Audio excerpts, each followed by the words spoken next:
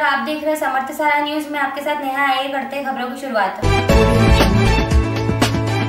Plastic Manjhi और पतंग लूटने को लेकर लोगों को किया जागरूक। नागदा में मकर संक्रांति पर्व को लेकर बच्चों को समझाया कि पतंगबाजी में प्लास्टिक मांझे का उपयोग नहीं करें, जिससे निर्दोष पक्षी मर जाते हैं और न ही पतंग लूटने की होड़ करें।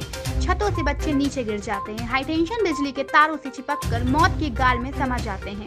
ऐसे बच्चों को सीएसपी रत्नाकर ने बच्चों को समझाया और सचेत रहने की सलाह दी। किया जा रहा है। उपलक्ष्य में इस पूरे सप्ताह यातायात नियमों को, जनता को जागरूक करने के लिए विभिन्न रूपों में प्रदर्शन करके उनको अवगत कराया जा रहा है। इसी उपलक्ष्य में आज यहाँ पे स्कूल के बच्चे थे, कई स्कूल के बच्चों के माध्यम से यातायात नियमों की तख्तियाँ उनके हाथ में लेके ताकि आम जनता यातायात नियमों को पढ़ सके, उनका पालन कर सके और जागरूक हो सके। इस संबंध में स्कूल के बच्चों की रैली का आयोजन किया गया था, जिसमें कि नागदा बिरलाग्राम की आई, हमारे सभी लोगों ने आयोजन में हिस्सा लिया और एक मैसेज दिया। यहाँ के सभी लोगों को यातायात नियमों का कितना पालन करें और अपना और का